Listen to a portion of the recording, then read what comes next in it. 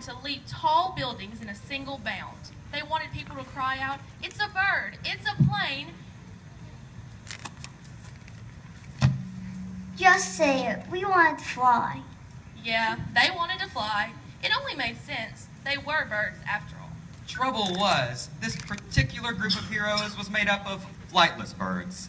Henny Penny, Penny is short for penguin. Ducky Lucky, Don't Ducks baby quiet. Goosey Lucy, That's me.